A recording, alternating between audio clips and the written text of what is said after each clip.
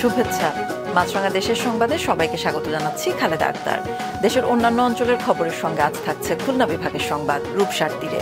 শুরুতেই জানিয়ে দিচ্ছি গার্ডিয়ান লাইফ ইন্স্যুরেন্স সংবাদ শিরোনাম।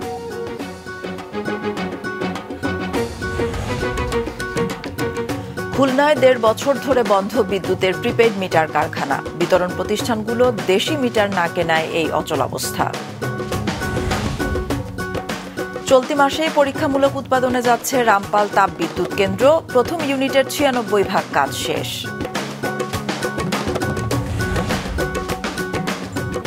শুনছিলেন শিরোনাম, এবার বিস্তারিত। শুরুতেই খুলনা বিভাগের সংবাদ রূপসার তীরে।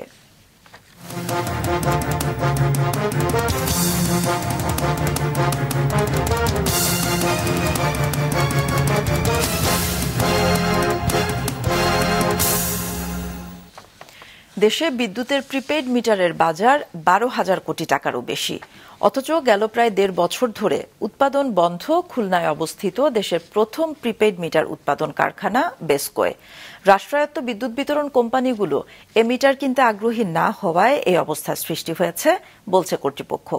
এস এম মিলনের ক্যামেরায় মোস্তফা জামালের রিপোর্ট। দুই হাজার আঠারো সালে দেশেই বিদ্যুতের মিটার তৈরির নির্দেশ দেন প্রধানমন্ত্রী শেখ হাসিনা।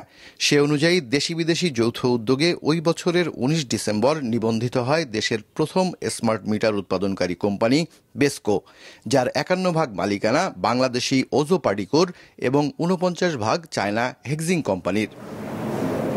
দুই হাজার বিশ সালে উৎপাদনে আসে কোম্পানিটি। উৎপাদন করে এক লাখ নব্বই হাজার প্রিপেইড মিটার, যার আন্তর্জাতিক মানের সনদ মিলেছে। এসব মিটার সরবরাহ করে প্রায় সাত কোটি টাকা লাভ করে প্রতিষ্ঠানটি। এরপর অজানা কারণে বিতরণ কোম্পানিগুলোর কাছ থেকে ক্রয়াদেশ না মেলায় দুই একুশ সালের জুন থেকে বন্ধ হয়ে যায় উৎপাদন। এই কোম্পানিটা আসলে হচ্ছে অর্ডার বেস কোম্পানি। অর্ডার থাকলে সেই স্পেসিফিকেশন অনুযায়ী আমরা মালামাল তৈরি করতে পারি আদারওয়াইজ কিন্তু আমরা মালামাল তৈরি করে স্টক রাখতে আমরা পারি না। কোম্পানিটির উৎপাদন বহুমুখীকরণ ও দেশের বিদ্যুৎ বিতরণ কোম্পানিগুলি থেকে বিশেষ নির্বাহী আদেশে চাহিদাপত্র পেলে ঘুরে দাঁড়াবে বেসকো। দেশে তৈরি হবে ইলেকট্রনিক্স প্রযুক্তিতে দক্ষ জনবল কমবে মিটার আমদানি, সাশ্রয় হবে বৈদেশিক মুদ্রার, বলছেন প্রতিষ্ঠানটির ব্যবস্থাপনা পরিচালক। আমি এটাকে আংশিক সংযোজন শিল্প থেকে আমি একটা পরিপূর্ণ সংযোজন শিল্পে পরিণত করতে চাই। তাহলে আমি প্রাইস কম্পিটিটিভ হতে পারব। আমাদের জন্য একটা সুযোগ এখনও নেই, সেটা হচ্ছে যে আমরা যে ক্রাইটেরিয়াতে টেন্ডারগুলো তৈরি করা হয়, সেখানে আমরা পার্টিসিপেট করতে পারি না আর কি। ইন্টারন্যাশনাল টেন্ডার হয়, যে ক্রাইটেরিয়া থাকে, তাহলে আমরা পারি না।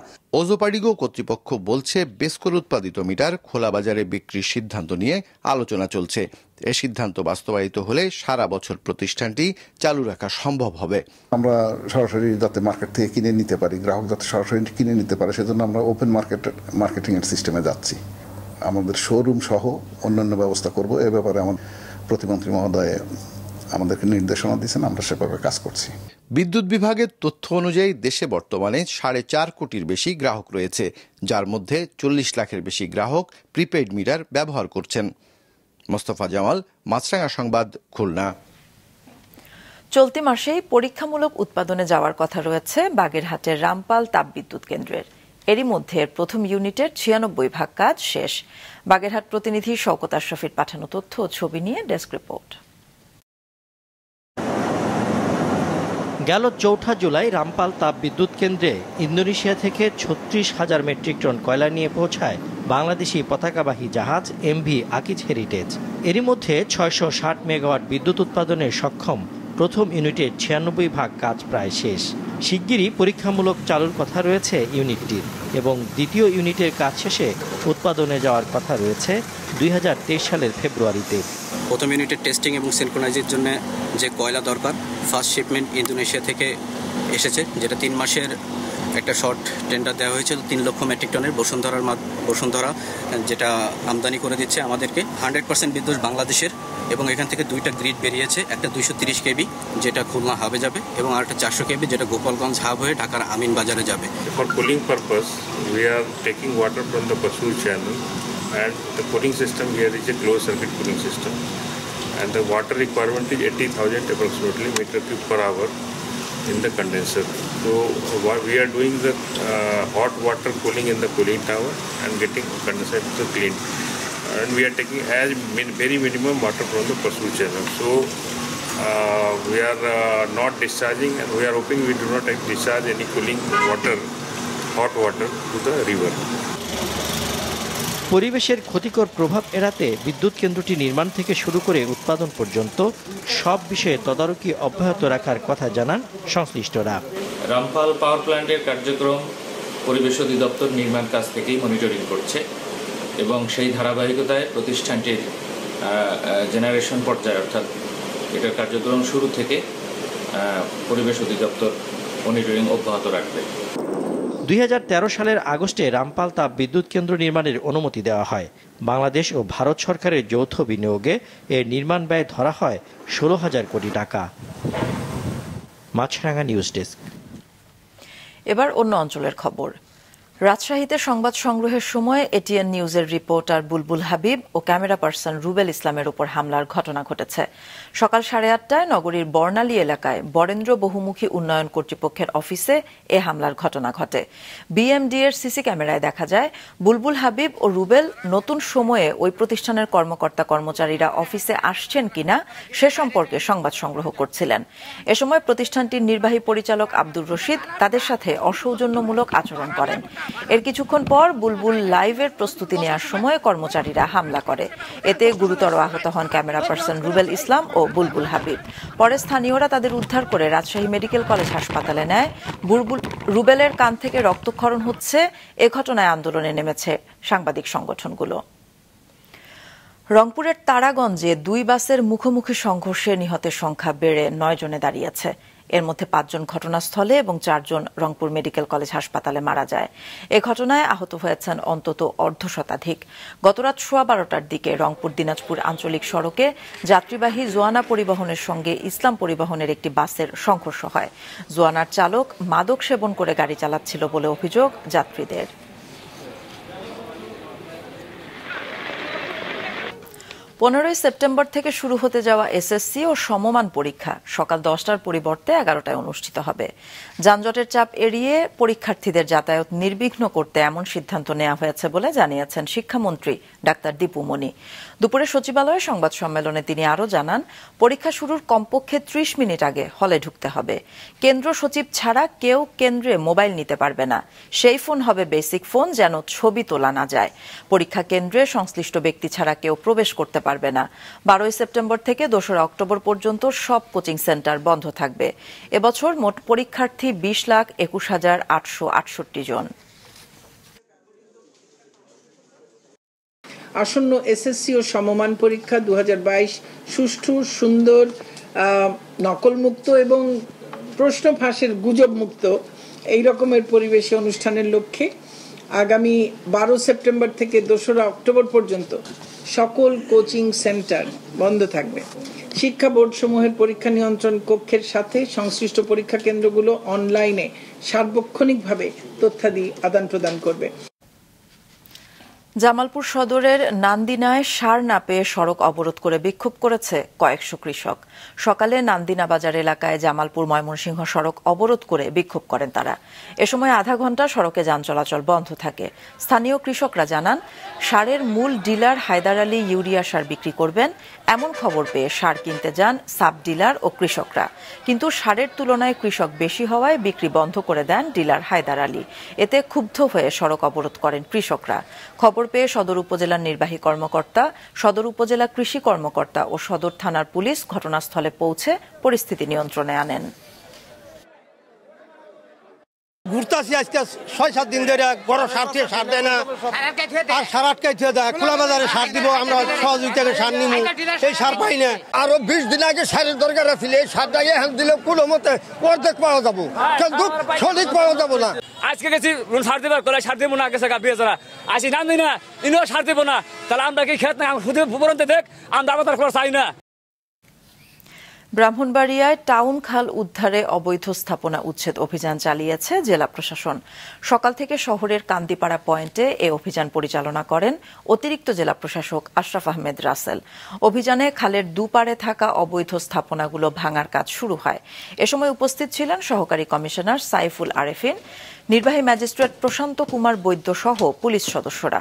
উচ্ছেদ অভিযান শেষে উন্নয়নমূলক কাজ শুরু হবে, জানান কর্মকর্তারা। অভিযান অব্যাহত থাকবে বলে জানান তারা।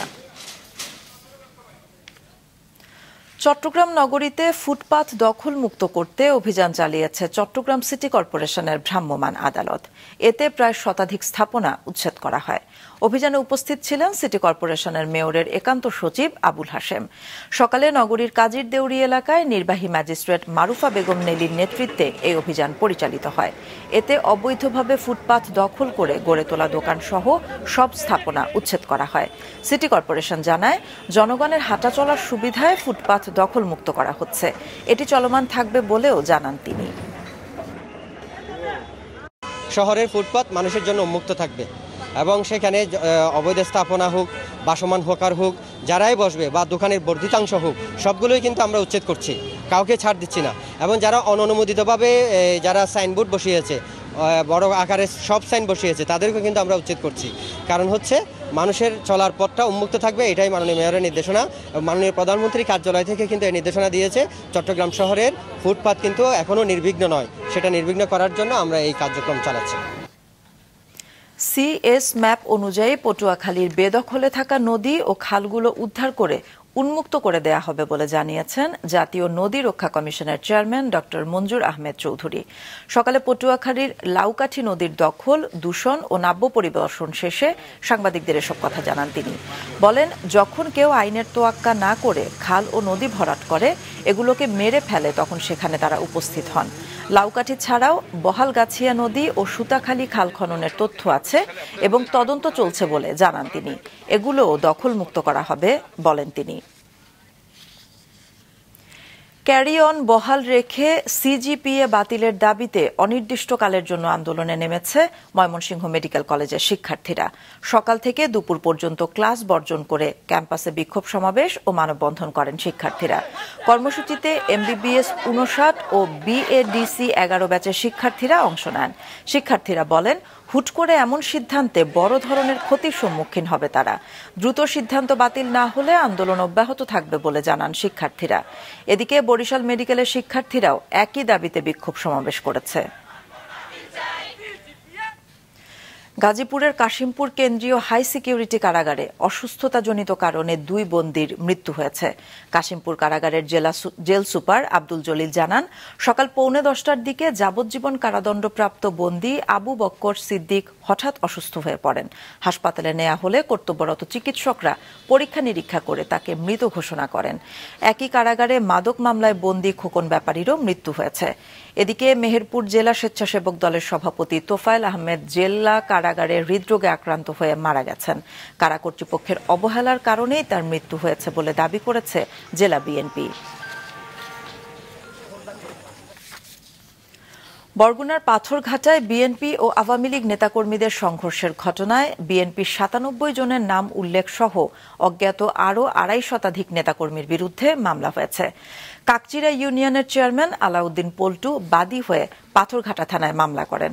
ঘটনার পর থেকে এলাকায় থমথমে পরিবেশ বিরাজ করছে। গতকাল বিকেলে সাবেক সংসদ সদস্য ও বিএনপি নেতা নুরুল ইসলাম মনি গাড়িবহন নিয়ে নিজ এলাকা পাথরঘাটায় যান। একে ঘিরে স্থানীয় আওয়ামী ও বিএনপি নেতাকর্মীরা সংঘর্ষে জড়ায়। এ সময় বেশ কিছু মোটরসাইকেলে আগুন দেয়া হয়, আহত হয় অনেকে। পরে পুলিশ ঘটনাস্থলে গিয়ে পরিস্থিতি নিয়ন্ত্রণে আনে। সরবরাহ বাড়ায় সপ্তাহের ব্যবধানে দিনাজপুরের হিলিতে শুকনা মরিচের দাম কমেছে কেজিতে আশি টাকা করে। এক সপ্তাহ আগে প্রতি কেজি শুকনা মরিচ তিনশো আশি থেকে চারশো টাকা দরে বিক্রি হলেও তা কমে এখন তিনশো থেকে তিনশো বিশ টাকায় বিক্রি হচ্ছে। একইভাবে আমদানিকৃত মরিচের দাম কেজিতে সত্তর টাকা কমে চারশো ত্রিশ টাকা দরে বিক্রি হচ্ছে, যা পূর্বে চারশো ষাট থেকে পাঁচশো টাকায় বিক্রি হচ্ছিল। কয়েকদিন ধরে আবহাওয়া ভালো থাকায় কাঁচামরিচের উৎপাদন ভালো হয়েছে, দামও কমেছে।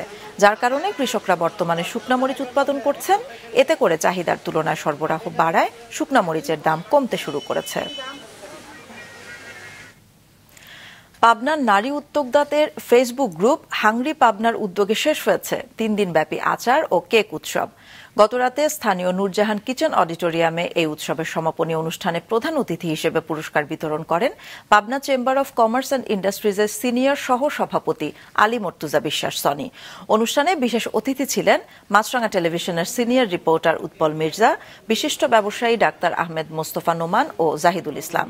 হাংরি পাবনার চিফ অ্যাডমিন মিজানুর রহমান মিজুর সভাপতিত্বে অনুষ্ঠানটি সঞ্চালনা করেন অ্যাডমিন দেওয়ান মাহবুব। উৎসবে অংশ নেন বত্রিশ জন নারী উদ্যোক্তা। মাছরাঙা দেশের সংবাদ শেষ করার আগে গার্ডিয়ান লাইফ ইন্স্যুরেন্স সংবাদ শিরোনামগুলো আরও একবার। বিদ্যুতের প্রিপেড মিটার কারখানা বিতরণ প্রতিষ্ঠানগুলো দেশি মিটার না কেনায় এ অচলাবস্থা চলতি মাসে পরীক্ষামূলক উৎপাদনে যাচ্ছে রামপাল তাপবিদ্যুৎ কেন্দ্র। প্রথম ইউনিটের ছিয়ানব্বই ভাগ কাজ শেষ।